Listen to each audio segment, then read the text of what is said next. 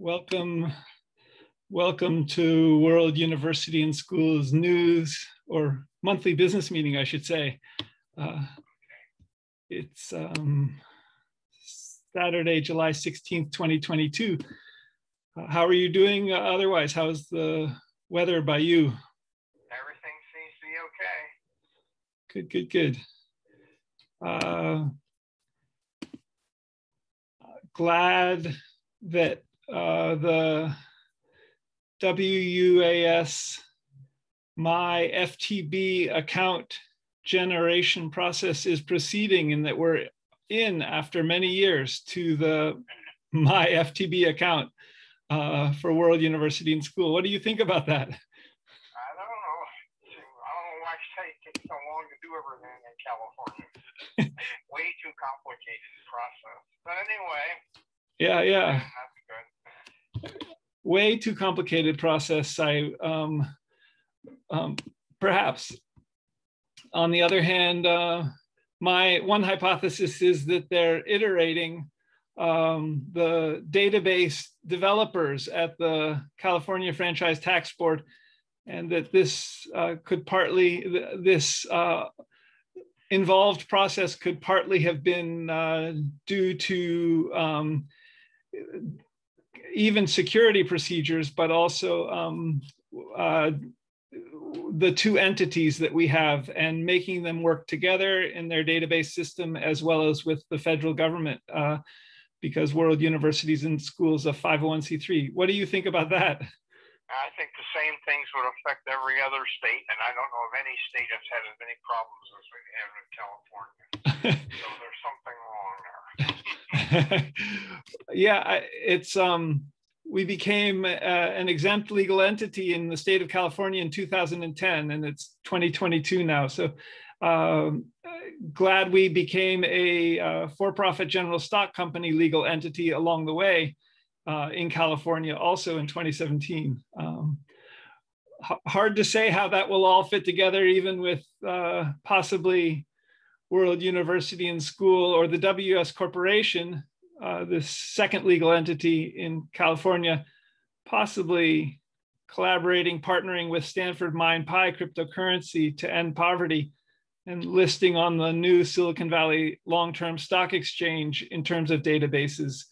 Uh, thoughts about that? That's in complex system. No, of, we've just been waiting a long time. So yeah, yeah. Continue to wait. All right, sounds uh, like a plan. Um, so uh, let's get to the agenda items if you're game. Okay. Um, agenda item one, um, it's possible to matriculate in now for World University and School four years free CC4 ocw.mit.edu centric bachelor degrees by emailing meeting at World University and School, but particularly by beginning just now on your own to take CS First with Google uh, at .com at World University and School for a free uh, initial programming course, learning the Scratch programming language. One question is how to uh, build student engagement, Larry. Um, this is a, a remarkable opportunity free course to matriculate in for a free four-year bachelor's degree. Uh, how do we reach out to more students, do you think? Well, I don't know. It doesn't seem like anybody who's amenable to our reaching out is interested in doing any of the work. I'm rather discouraged by, we keep talking about motivated, good scholars, et cetera, but the only people we seem to attract are weak. Interesting. So I don't know yeah. That's just, that's just a general observation. It would be um, your first comment about um, attracting people who will do the work uh, made me think of um, already being in Wikidata, Wikibase, Wiki um, media, uh, and, and, that to some degree, World University and School has people doing the work on the on that wiki side. Um, ama- amazing. That's that's an accomplishment. Um, Okay. I think, but that's not But making. they're not the students. They're not the students where you were talking about. Though. Right, right, right. I, I mean, then the, the courseware on the Google side, um, people made the CS first with Google at World University and School, and it's Creative Commons 4 licensed. People are doing the work there. Uh, how, I guess one question with regard to even Sidwell Friends High School in the Washington DC area is uh, um, beyond if we could uh, find a cohort of recent alumni from Sidwell Friends. We haven't heard back from them, your suggestion last business meeting. Yeah. Um, and if even Sidwell Friends could, um, high school, the, the, the educators, the teachers could uh, let Google know what their graduating 18 year old students might want um, in terms of uh, a first year of courseware in the Google uh, CS First with Google ecosystem, maybe building uh, with uh, on cc4ocw.mit.edu. That could be an entree to all the high school uh, counselors, all the high school graduating seniors in the US for free degrees. Uh, how do we get there? Or what do you think about that? Well, I realize now, you should realize that all the schools, all the high schools are no longer in session. And so I don't think anything is likely to happen for quite a few months. Yeah, um, I agree uh, there. Um, also, we haven't heard back from Mwende Evande in Cameroon, Africa, um, about his interest in matriculating this September Yeah. 1st. Um, for example, he having finished the CS first with Google at World University and School course this past Have you heard that he finished it? I, I don't remember that detail. Uh, yes, um, it appeared that he did. Um, that that's CS First with Google at World University and School um, works with standards um, that might eventually be accreditable, but there's always um, sort of questions. How can we know? How can we be sure that he did finish it, even if Yeah. it looks like he finished it? um, what if he had uh, someone helping him in Cameroon, um, for example? So I guess waiting to You hear never can test for that. what's that? fact, you don't. You can't ever be sure of that. I mean, I remember a situation many years ago in St. Louis where a the professor walked in to take a final exam, Yeah. which he promptly let the thing happen, then gave the guy an F. In the world? in in-person class, you could let somebody else substitute. Well, that happens. right, right, right. Interesting. Um, I uh, wonder whether Google could code for uh, such interest and um, whether uh, this could develop in other languages, uh, particularly in India, for example. I was just in a uh, India Google Education Group meeting this morning, getting up at 5 a.m. Pacific time. And they were talking about updates in Google Apps and Google, Ed, Google some Google for Education uh, programming from Google. Um, I've inquired with them about interest uh, by their students in um, free bachelor's degrees. And I would think that Sundar Pichai, the CEO of Google and Alphabet, could be um, a potential collaborator here too. Uh, but I didn't hear back from Vishal Varia, the sort of leader of the session I was in this morning, a teacher in a high school in Ahmedabad. But another woman, Narjit Kaur, uh, also was holding a session at the same time in the Punjabi language. And um also holding another session at a different time over three days on a boot camp in Google education. So I'm curious if um, there might be some approaches there and with other languages uh, also, such as Punjabi, um, that could lead to cohorts uh, working through a Google um, Google courses uh, with MIT OpenCourseWare courses. Uh, thoughts about all of that? Well, I mean, it's possible, but obviously they're in charge, not us. So, got to just follow on with what's happening. Right. So that would be with, um, for example, uh, potentially Peter Norvig and Google, um, I would think, and Sundar Pichai. Uh, so moving on uh, in the agenda, um,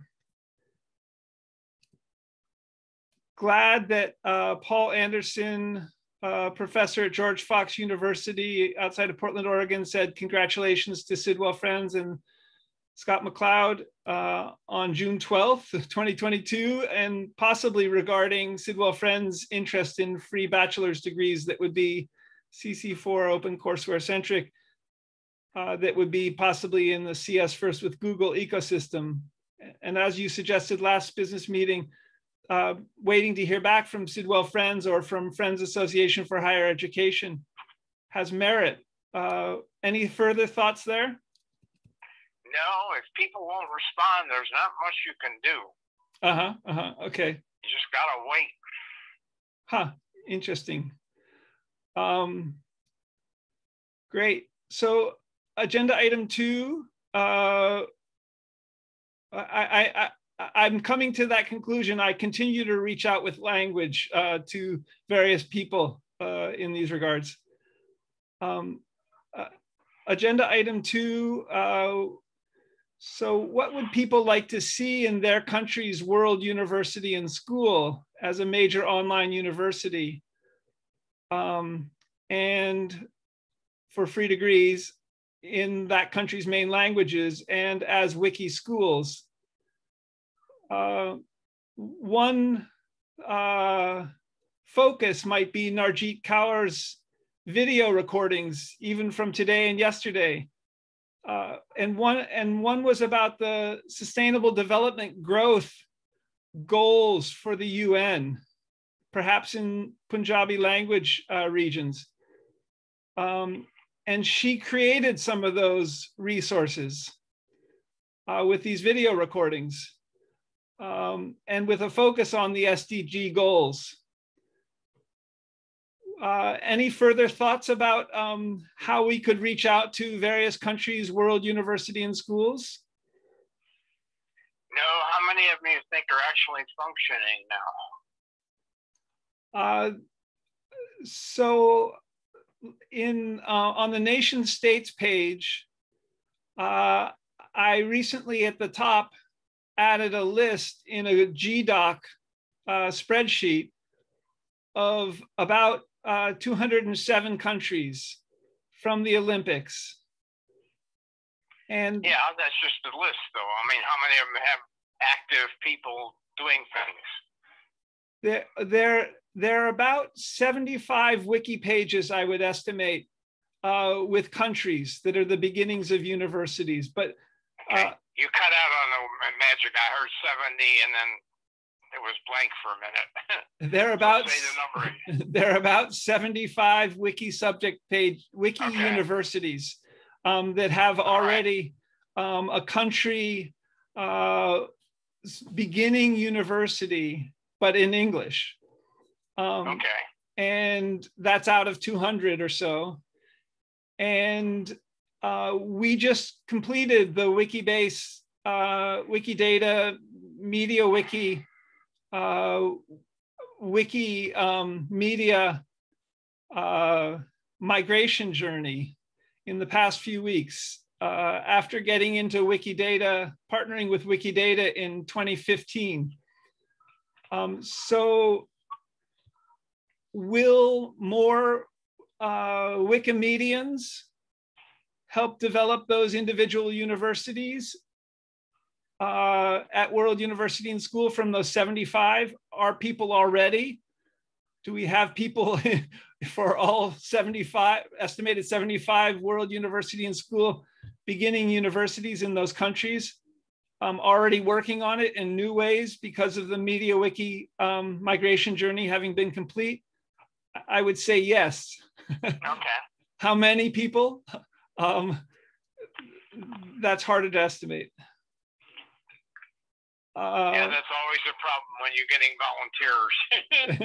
they can be active or inactive. If you're paying them, you can have a little control, but if they're doing it for free, you just have to tolerate whatever gets. Right. The, the um, we, was explore we were exploring last monthly business meeting third saturdays third saturdays of the month at 9 a.m a ghana world university and school as well as a, a uganda world university and school. Um, and there's a wikimedian from ghana uh, i think he's based though uh, in berlin and he's um, pointing out someone in Seattle a lot on Twitter. Uh, I think her, her, I'm forgetting what her full name is. Ivy is her first name. Um, and uh, he, while he may be paid and could be focusing even on the Dagbani language, um, because that's his first language in Ghana at Wikimedia um, for Wikipedia, uh, it's that kind of um, sort of those sets of developments, perhaps as um, World University and School develops further in Wikidata, that will lead to more both possibly paid and volunteer um, from that those communities and that, that ecosystem. Should we focus that further in any given way? Well, I don't know how, but it, that's about all we can do at this point is encourage them to keep going. Yeah, um, I mean, how one how question uh, gets down to agenda item six or seven or something on the fabricated Phabricator ticket system, P H A B R I C A T O R, I think, which uh, Lydia Pintscher has been using for years uh, and it's to get specific coding projects done in uh, Wikidata, in Wikibase, um, in Wikimedia, and in various languages. And uh, uh we could possibly engage the Wiki um, media Phabricator ticket system further uh, but I'm I don't have any specific um, ticket items that I am pursuing for World University and School in that ecosystem at this point. Okay. Uh, th those are all quite technical, and I would like to build a flourishing teacher and learning uh, teacher and learner conversation um, in our 75 universities that are already existing as wiki um, beginnings of major universities? Um, and is there a way to collaborate further with Wikimedia? I'm skeptical there. Um, to add a new reference to a wiki subject page as it stands is a tiny bit complicated. Uh, it's just not as easy as adding a URL to a Wikipedia um, little program that creates a reference, for example, of, of you, Larry, teaching to uh, a YouTube video about your book on ions, for example. Um, but that could come along as well, but I'm not sure if that leads to flourishing learning and uh, teaching and as a conversation either. Uh, so those are some thoughts about um, further what would people like to see in their country's world university and school, and even regarding possibly Wikimedia's paid and volunteer uh, folks, um, and some other ideas. Uh, what about uh, WUAS liberal arts education? Uh, MIT professor Rafael Reif tweeted recently about uh, artificial intelligence, AI, and the liberal arts, and its path to wise, responsible citizenship um, in an AI moment. And it seems like um, both the 2,600 approximate courses, undergraduate and graduate at cc4ocw.mit.edu, um, many of which are not STEM, many of which are STEAM, science, technology, engineering, arts, and mathematics, could be uh, developed with AI for the liberal arts. Uh, and that liberal arts is a, an approach to education that I think many high schools in the United States uh, even apply, uh, orient themselves toward uh, in focusing their graduating seniors and they're going to college. Um, thoughts about how we might bring MIT OpenCourseWare liberal arts together with AI um, and uh, make it attractive for graduating seniors at US high schools and around the country, around the world? Well, of course, between the two of us, you're the one who has to do that since I'm obviously in the STEM area you're the one who's in a liberal arts environment, so tip the ball back to you. Uh, it, it's long been a, a, a, thought at World University and School. How could we create a, uh, an initial um, uh, course that would be both inspiring, a little bit like um, Humanities 110, but also um, newly with AI and uh, for writing, learning writing, and all kinds of other um, liberal arts foundational uh, philosophical conversation questions. So thanks. Well, I will focus. I, I, yeah, I know. I'll leave it back on your hands, but reality is, I think we get financial constraints here. People get into this uh, UAS stuff because they think it's the way they can get money, jobs, etc and then they're not willing to divert off the what they view as the money aspect of STEM into the arts area where they don't think there's that much money. So Interesting. That's, I think, a big hurdle. Uh, it's a very, very big hurdle, and maybe something will come of it with um, this these new developments with the state of California franchise tax board and with the state of California itself. Um, we've uh, long at World University and School thought of hiring interns, uh, say um, MIT PhD students uh, in the arts, possibly in the humanities, uh, to teach as graduate student instructors. Um, and at uh, in, a, in a way maybe that they could also develop AI with uh, artificial intelligence with cc4ocw.mit.edu courses. Um, that's a way to bring money together with um, possible uh, uh, people who are interested in educating, possibly interested in researching, um, and uh, who might have artif- coding skills, for example, either building on what MIT has to offer itself or on the um, CS with Google ecosystem. Yeah, that's true, but those kind of people aren't the ones who are attracting at the moment the WUS. The ones we seem to attract, the ones that have no programming skills. They want to get them, but they don't have any at the moment. I, I think your observation earlier um, that made me think uh, how do we find a way for um, potentially uh, high schools to ask for what they want, such as Sidwell Friends, from even um, the kind of CS first with Google and with uh, CC40 MIT OpenCourseWare uh, could be a way to get money possibly from the state of California um, that for graduate students to begin to code this um, all with artificial intelligence if the platforms were there, such as at CS First with Google. That's my hope. What do you think? Okay, well, that's one source of money. Okay. Uh, maybe we could find some inspired uh, philanthropists who would give us money.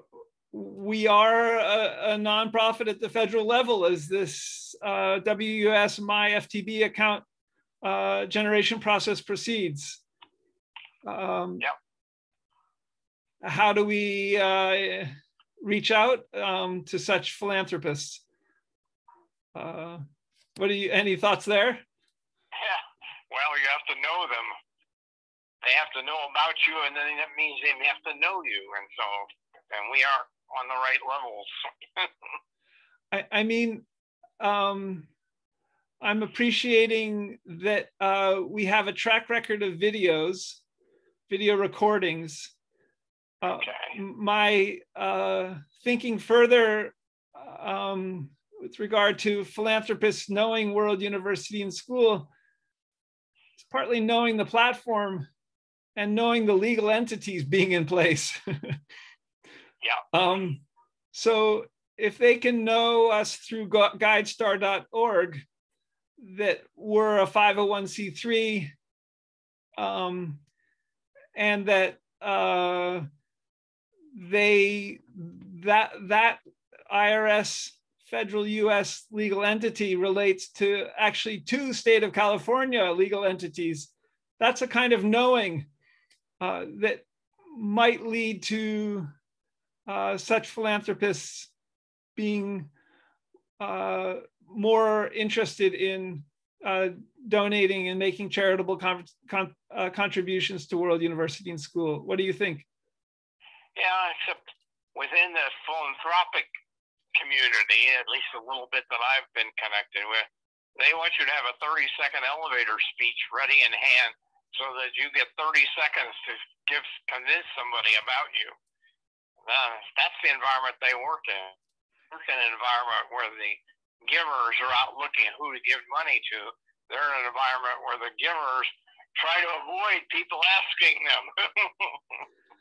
I think there is a, a minute long uh, so-called elevator, elevator talk on um, LinkedIn or something still, or there was for a while. Um, but I think that was from uh, some five, ten years ago. So I'm not sure. Um, well, you might want to look that up and improve it, update it. Yeah, that sounds good. Um, so in planning to code potentially for people in 200 countries and speakers of all 7,151 known living languages, uh, ongoing concerns about how to protect uh, students and people and even all 7.9 billion people regarding abolition. It's an ongoing focus. MIT Blossoms, uh, which is a Twitter feed, posted something about informers on campus uh, that's recently, that's one approach.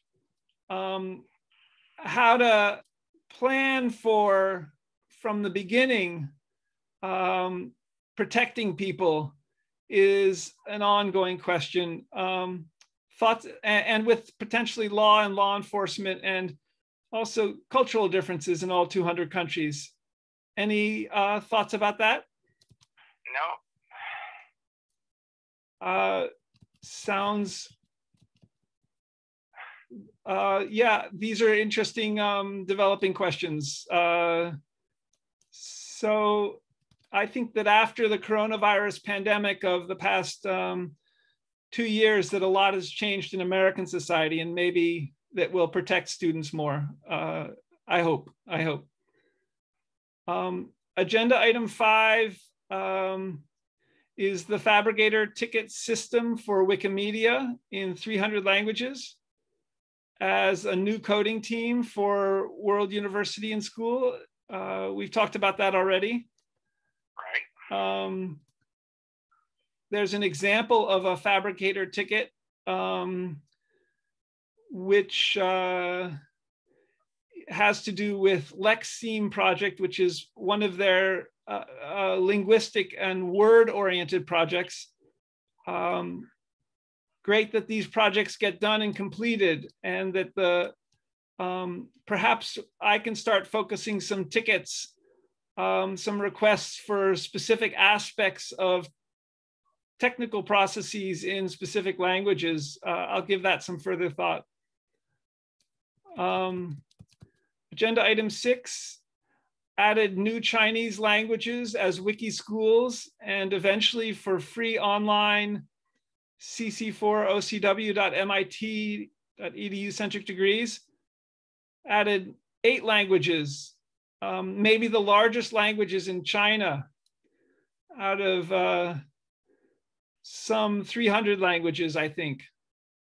Okay. Uh, the languages I added um, to the languages wiki subject page are uh, Guo, Guoyu, which is, I think, Mandarin in Taiwan, Mandarin Chinese, Min Chinese, Wu Chinese, um, Cantonese, also known as Yue, um, Jin or Chin Chinese, Gan Chinese, Hakka, um, which is also known as Keja, and Xiang Chinese.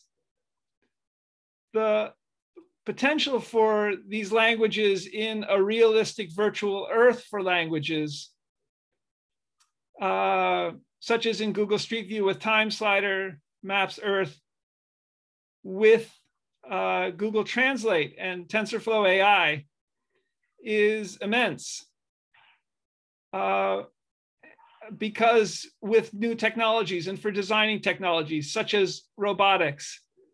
So would we be able to design robots in the Min Chinese language? um, even for even the Toyota um, THR3 humanoid robot, uh, which comes with a, mass, a, a, chair, which is where a, a roboticist and a programmer can sit and potentially code this robot. Uh, could we code it for Chinese and even to do deliveries? uh, for example, at the Educational Services Store, in a realistic virtual earth for languages with a realistic virtual earth for robotics. Uh, adding Chinese languages, does that open up a, a, horizon in your thinking, Larry, for some of this? Well, if somebody responds and grows it, yes. So that's a way of getting more people involved. Uh huh. Great. Um, let's uh, see as the um, universities, thanks to the new WUaS um, migration journey completed uh, into uh, um, Wikidata, Wikibase, MediaWiki uh, grows if we can get more people involved. My hope. Yeah. Um, agenda item seven. Um, so someone updated a, a reference with some great ideas at Wiki World University and School in the business management section. Uh, this is, I guess you were asking earlier about how many people are involved. Right. And, and, this is, um, I guess, in the English language World University and School, and a particular wiki subject page on business management, where there's much uh, Sloan Business um, Management School um, from MIT OpenCourseware posted. And uh, it's by Jeff Haden. And it was uh, a post I added in 2000, around 2012, I think. He added a, an updated URL and with lots of good uh, thinking about qualities that make a project manager uh, a great leader and interesting sort of quick resource. Uh, it's just one example of wiki teaching and learning. How do we build such numbers of edits, Larry? Oh, well, that's a good question. I don't have an answer. Uh, how did um, I don't think that there's any way to find out uh, who was behind this edit. Uh, uh, the username uh, was not obvious, for example. Um, Okay. So uh, cultivating such a community, whether it was a Wikimedia person or someone else is another set of questions. Um, agenda item eight, um, we have a new expertise wiki subject page, um, partly thanks to a conference um, that uh, Jim Spohrer and ISSIP uh, organized, International Society, Service Society of Innovation Professionals um, is roughly the acronym uh, articulated.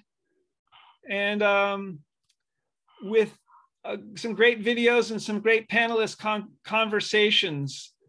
Uh, thanks to Jim for uh, and ISSIP for organizing this and for holding this. Also the um, National Science Foundation uh, director uh, of an education program, Alexandra uh, Borge Media, Meda, I think is her, how uh, is her name, gave a presentation. She's very focused on innovation in education um, at the STEM, in the STEM sphere.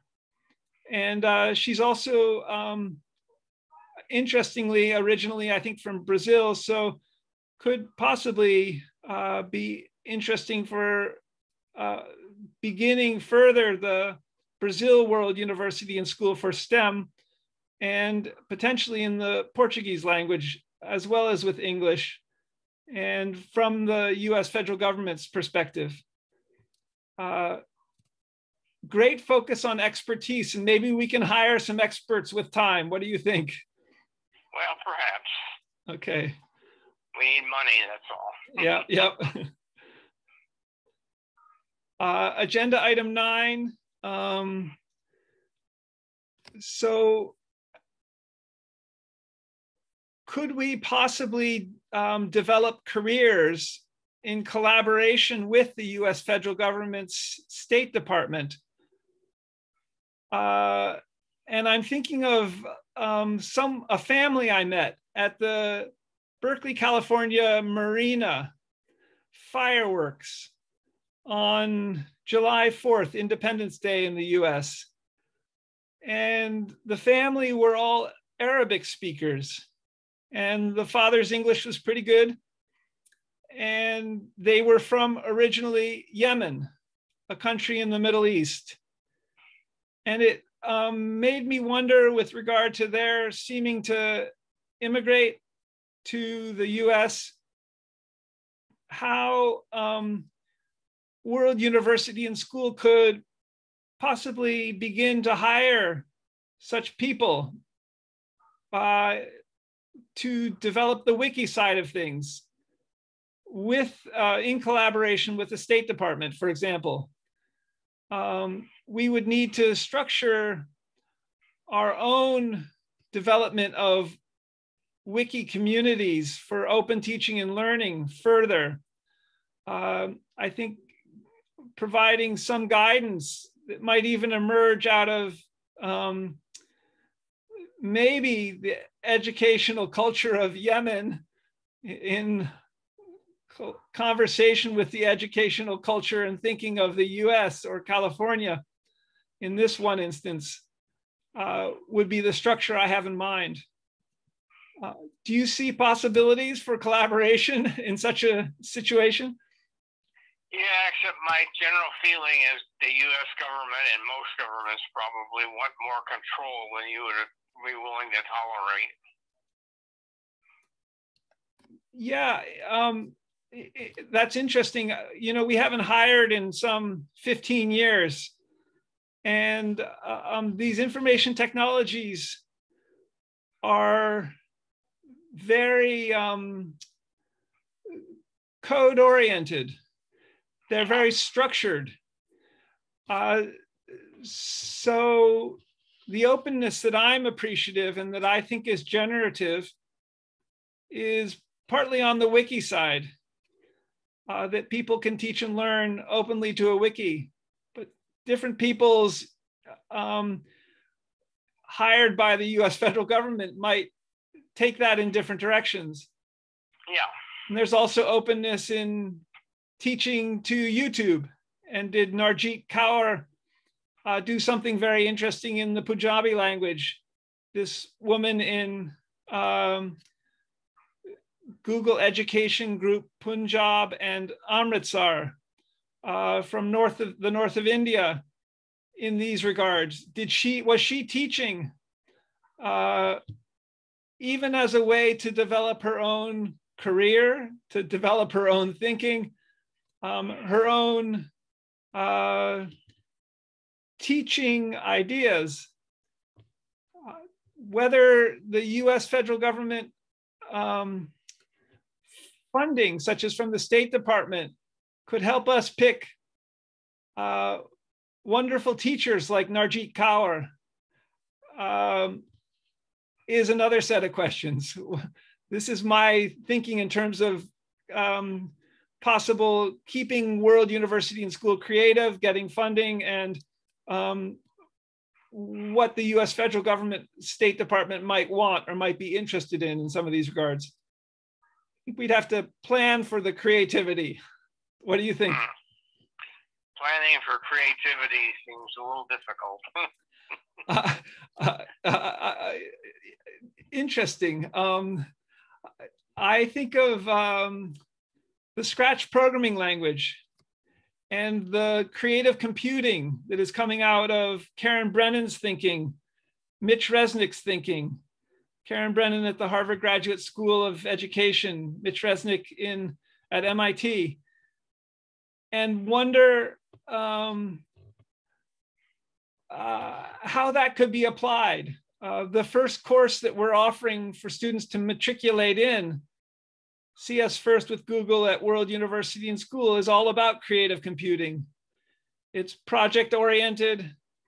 Students use the Scratch language, programming language in English presently, but I think it's in Spanish too, to um, do projects all kinds of projects, such as create a little scenario using a figure of speech. Um, lots of creativity there and with the structure of coding. Um, I think it's built into the, the way of thinking there. I'm hoping we can do that further at World University and School on the wiki side. Yeah. Uh, we're down to about 17 minutes.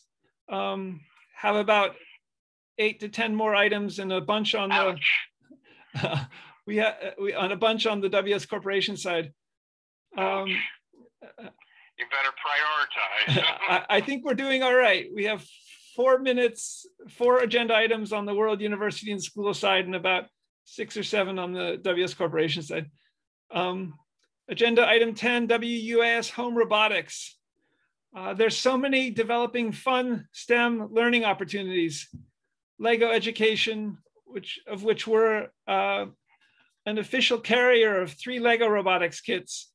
I just posted a picture of a motorcycle and suggest asked students or those people who got the kit at home on their own to write code to graph energy consumption and discover how this little Lego motorcycle, how the smart bike gains potential energy in the this is uphill lesson uh, in Spike Prime Lego Robotics.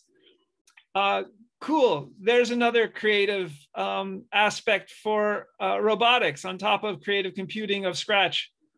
Um, I'm hoping we can develop a whole approach uh, with these three Lego robotics kits and more for home robotics.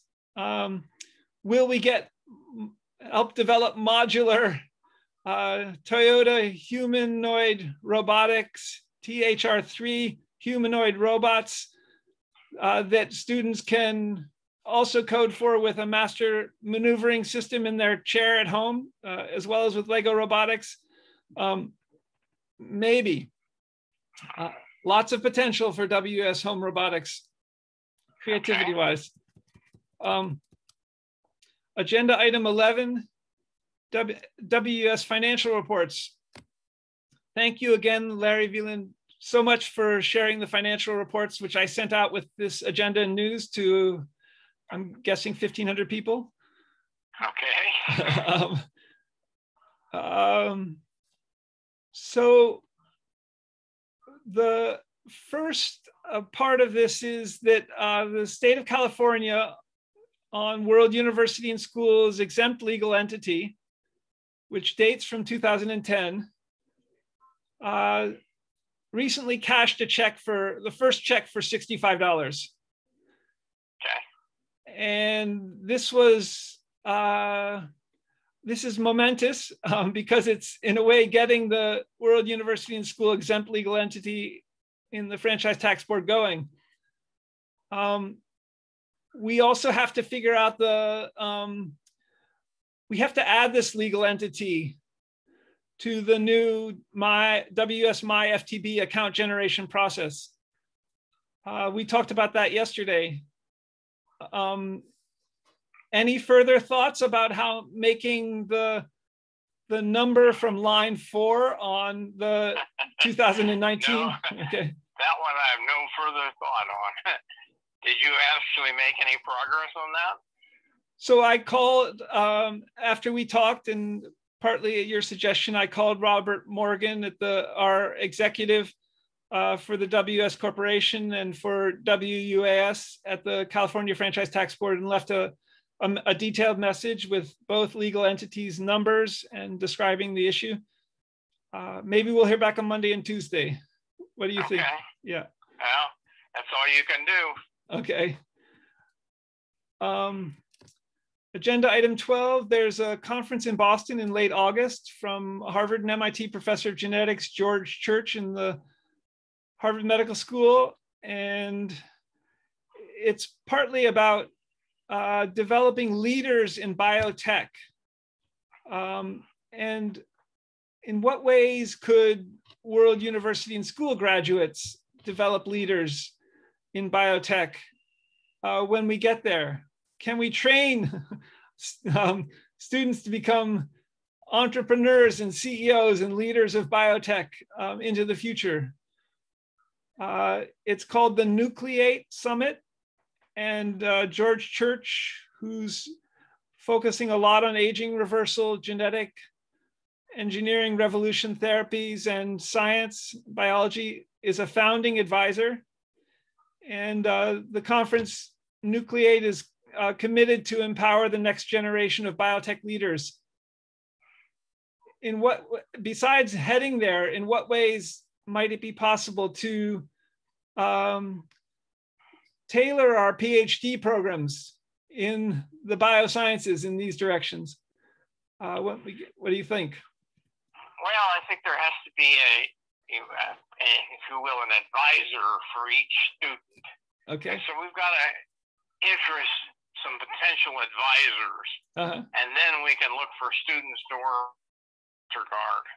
Right. I mean, a PhD is not a course. A PhD is a program in which you're working one on one with an advisor, uh-huh. you really have to keep that in mind. At least the science part of a PhD is like that.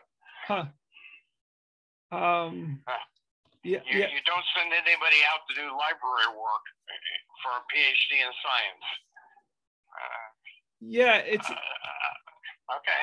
Yeah, uh, that's um, it's interesting. Uh, the anthropology of science might involve more library work, but it could involve ethnographic work in physical laboratories too. Um, but uh, if we could find professors uh, at major universities, such as George Church or uh, someone at Cambridge, who could advise our PhD students at home as we begin to hire our own faculty. Uh, that's one way to get a teacher advisor, a teacher student um, relationship going. Of course, the hang up there, of course, is money. Yeah, yeah. Um, absolutely. Uh, state of California is finishing the uh, WUaS My FTB account uh, generation process may open further steps. Uh, in those regards. Uh, agenda item 13, this is a little bit this emerges from a trip to um, a hot springs in east of the Sierra Mountains. And my first large ethnographic book is about a hot springs, and it has a focus, an act, a physical digital focus as well. Ethnography being an interpretive practice. Um, and there were a number of people in this hot springs, Buckeye Hot Springs, on a Sunday morning last week, uh, who were from different US agencies the US Geological Survey, there were some connections to the US Marine Corps, um, and uh, other organizations in California and federally. And a brainstorming idea came to me afterward was in some ways, in what ways, and this is regarding money further, could, could such uh, agencies and organizations collaborate um, to set up World University and Schools Academic Medical Center, even with a warm water cure, and WUaS Longevity Genetics Institute on the Ridge and Canyon 94516. And um, with all of the varied, very various skills that they have, uh, from um, building things uh, to information technology to scientists in the US Geological Survey, and even for setting up physical digital experiments with 10, for example, model organisms or species, human, dog, mouse, uh, chicken, honeybee, Drosophila fly, and maybe uh, a frog, um, a, a, a, yeast species, um, and a zebrafish, and uh, all importantly, the, the little nematode worm uh, called C. elegans, um, yep. which is one millimeter. These are, all, yeah. these are all standard biological, if you will, experimental species right. in a beginning biology class. Yeah. Yeah, and and throughout some individuals' careers, um, I think the MIT professor uh, Flavell is his name. I heard him in a brain initiative conference um, from the NIH about uh, three or four weeks ago. Is he's an MIT professor focusing on C. elegans for his whole career. Uh, this yeah. one, one millimeter worm one millimeter long worm that also uh, has 302 neuron, uh, neurons, which make up its nervous system or its brain. It's, it lives maybe um, five to 10 weeks. Could we uh, double its lifespan uh, in this WUaS Longevity Genetics Institute um, to 15 to 20 weeks? Um, these are interesting questions. Uh, agenda item 14, um, how could World University and School begin to hire scientists? Um, and even as many as 2.3 million people over decades. even a dollar a year wouldn't be uh, something we can afford. at, at, at university uh, competitive rates? Can the state of California help? Um, uh, could uh, the WUaS Corporation adding, um, uh, partnering with Stanford Mine Pi cryptocurrency on the Silicon Valley Long-Term Stock Exchange, uh, begin to hire with such uh, possible nation states getting their cryptocurrency from California? Maybe. Maybe. That's a long way out. right, right, right. Um, going to the WUaS Corporation, uh, Lego Robotics, uh, we're carrying three kits. We haven't heard back from them in a while, but we need to get our IT more together. Uh, one question there is, um, would, will the, having completed the WUaS migration journey to wikibase.cloud, um, will Wikidata, Wikibase, Wikimedia help create our educational services stores in 200 countries. Uh, thoughts about that, Larry? I don't know where it's going. Well, first we have to have customers, Students. and then you can judge what the customers want and respond to that. Yeah, yeah. You're trying you're trying to sort of do it without anybody, and that's hard to hard to see.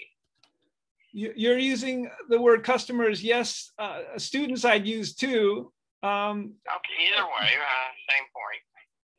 So if they can help with the 200 universities further and even building communities such as in Ghana, um, would Ghanaian students, uh, which I think is a developing country, um, be purchasers of Lego robotics? Um, interesting possibilities. Maybe. What do you think? Yeah, I think it's possible, but we got to have them, and then we can see what it is they need further, and we can respond to it. It, it may be that someone like um, this Wikimedian, um, who is from Ghana, whose first language is Dagbani, can help also tailor uh, courses for even Mwende Evande in Cameroon um, from a West African perspective, in addition to getting Lego robotics, all from the Wikimedia World University and School migration journey completed to wikibase.cloud uh, in Wikidata. Let's hope. okay. um, so um, a uh, item B, um, this is a, a, fairly new idea for, for the WUaS Corporation. To what degree could we develop a smartwatch, possibly even with Stanford Medicine, uh, with gel electrophoresis, uh, which is the separation of DNA molecules at um, in a gel with a slight electrical charge. This is my area of research. Uh, I, use gases instead of gels, but it's the same principle. I, am This is exciting. Um, I'm also sharing this for for um, the record um, to. Um, okay. All right. So um, and combine it with um, sort of this gel electrophoresis process with molecular microelectronics chips or semiconductors, potentially even as uh, the machinery uh, for uh, genetics at the molecular level uh, to uh, recode, resequence it, uh, resequence DNA, and particularly for aging reversal and longevity genetics. And furthermore, this smartwatch connected with uh, even Google Street View with Time Slider, and Avatar Bot electronic medical records. Um, possibly this smartwatch also doing molecular cloning uh, per a George tweet, Church tweet recently. Uh, what do you do? You want to have a hand in this, Larry? well, I mean, the reality is at the moment, time is a big consideration in these things. Yeah. So having a watch doesn't really help anything. If you could get the time down to 30 seconds instead of 30 minutes, it might make a big difference. The gel electrophoresis process takes about 30 right. minutes. Yeah, that's a long time. At least. Because yeah. you got to do it in cycles. You uh-huh. got to heat it up, hold it there for a temperature and then cool it down, let it regrow bigger, twice as many, and then heat it up, let it cool down, let it grow. Now it's four times as big, and you keep doing this for many cycles. Interesting. Okay? And that that takes a long time. Yeah. Um, and it's not particularly expensive equipment. Right. right. It's not particularly large or, or you know. It always sounds impressive to students, and when they see what it is, it's uh, that all it yeah, that's why it could be a watch, but there's no advantage to a watch at the moment. Well, what I would add to this sort of um, prototype thinking, it, it, I mean, if a, if such a smartwatch could be designed for aging reversal and longevity genetics, um, and we could get get no, the machinery right. There are two kinds of scientific equipment. One is to do something, and the other is to measure something. When we're talking about a gel electrophoresis is to measure something, not to do something. It's not a tool. There, there okay, are some so. very helpful YouTube videos um, which um, reoriented uh, approaches even to learning. One is subtitled "Don't Memorize." Um, it was also describing doing something. And it was describing a process of separating DNA molecules into different sequences and strands because of the electricity. My separating them has no connection to implying something about genetics. After you separate them, then you got to go back to thinking about what it is that I could do with them and once they're separated. Great. It also has. You understand? I think so. I'm saying to you that the watch can separate them. Then what do you do with them? Uh, yeah. Something different. It also has nothing, no, nothing at this point to do, um, even if it could become somehow successful machinery uh, for resequencing DNA. It has nothing to do yet with aging, reversal, yeah. or longevity genetics. That's right. That's right. Uh, but the, the one thing I'd like to add vis-a-vis your speed issue with regard to this brainstorming about a smartwatch from the WUaS Corporation um, is it would be connected to the internet. And, and the 5G, um, where we are more or less currently, um, probably wouldn't be fast enough either, but it could speed things up too uh, for molecular cloning, for gel electrophoresis, for amazing engineers such as yourself figuring out how to turn this into um, a, an aging reversal device with a skin patch uh, from the smartwatch into the body at the wrist. Um, okay. This is, uh, uh I think it separated your technologies here the 5G, 4G stuff on communication, nothing to do with this. I mean, it's just a matter of how fast your processor is, has nothing to do with how fast the communications is. I mean, the smartwatch um, uh, with internet connectivity uh, would potentially be able to down, you know, download um, ones and zeros, maybe from our electronic medical records um, and uploaded as well. Uh, and the electric, uh, uh, the Avatar bot electronic medical records would potentially again be connected with Google Street View with Time Slider All with right. Pegman. But here we are in our different approaches. You're thinking a hundred year, what can we do? I'm thinking a hundred months or a hundred days. What is possible now? uh, I, am thinking how to get both uh, longevity genetics and aging reversal with this new molecular machinery um, of gel electrophoresis into a, a tiny watch uh, connected to the internet. Yeah, um, yeah, uh, I'm glad the Consumer Reports has rated smartwatches. Uh, I don't think any of them uh, have incorporated gel electrophoresis or molecular cloning, uh, but they do have internet connectivity. So um, these new smartwatches, uh, interesting. Right. Um, item C, um, bookstores and robot stores. Uh, can we, if we can ex, uh, explore ending poverty with universal basic income experiments, universal for all 7.9 billion people on the planet, with Stanford Mine Pi cryptocurrency, free money daily, in most of 200 countries and speakers of 7,000 languages. Um, we touched on this a little bit last monthly business meeting, but could we anticipate what populations uh, income levels will increase even with artificial intelligence? And then um, plan to open bookstores and robot stores in those regions. Um, I, I think it's a good idea, but what do you think about that? Well, I think it's compounding speculations. And so I, great if you could do it. I'm just not sure if number one you can do it, and number one that we and number two that we should do it yet. It's a little premature. Great, interesting. Um, yeah, I think it's a planning thing, and um, uh, I'll, I'll, we'll certainly uh, let's keep it on the back burner then. Okay. Um, I know we're a tiny bit over time.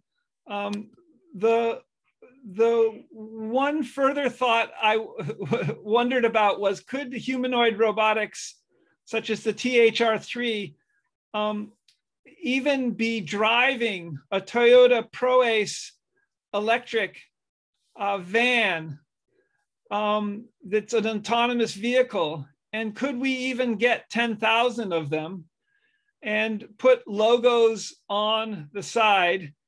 And could um, these humanoid robots start delivering packages um, out of the Toyota ProAce van, which might be getting 41 miles per gallon equivalent rather than 14 miles per gallon for mid-sized vans. Um, What's the point of having a robot? Good, great, great. Um, all, all the people who are doing these electronic or EV research now, they're no longer incorporating a humanoid figure as a robot. They're trying to do it without anything sitting in the driver's seat, which is possible, of course. It's a question of whether the humans will accept it. Interesting. Yeah, I mean, in that we would like to get into robots. Um, this might be a focus for developing robots. Uh, we also would like to hire, as I see it, 2.3 million people over decades. Um, and yet, uh, perhaps robots um, for learning about robots and in an educational enterprise um, for not only uh, initial things like deliveries um, and driving autonomous vehicles uh, with humanoid robots such as THR3, um, but also doing much more. Someone sitting in the master maneuvering um, system chair uh, could help the initial coding of possibly the 10,000 robots. Uh, um, this would be maybe on top of another 5,000 humans driving Toyota ProAce electric vans making deliveries is the thinking. Um, I, I think it's, um, there are a lot of directions for uh, humanoid robots and for us to even manufacture them. Um, and that would be an initial thing that a humanoid robot might be able to do and might be familiar um, in all 200 countries even somehow. What do you think? Well, the only thing I do is argue by analogy. When you first had autonomous elevators, you didn't put humanoid figures in the corner to run the elevators. Yeah. No, I, I great. Yeah, yeah. Um, you, you, you skip directly to buttons. And so there's a technology leap that's possible that you're not putting into your discussion here. Sure, that's great. Um, I also think um, that uh, that mo- of the 7.9 billion people on the planet, um, one, more than uh, 1 billion have personal automobiles um, and uh, these will become self-driving. Um, whether there's a need for humanoid robotics in the driver's seat is another set of questions, which I think you're asking. Um, That's right. Uh, we explored this last monthly business meeting too. Um, could we put a $20 robot in all 7.9 billion people's arms? Um, as a teaching and learning robot? Uh, and would that be teaching and learning about everything from a four-year free bachelor's degree, well, uh, to um, a music teacher, to um, other skills in society?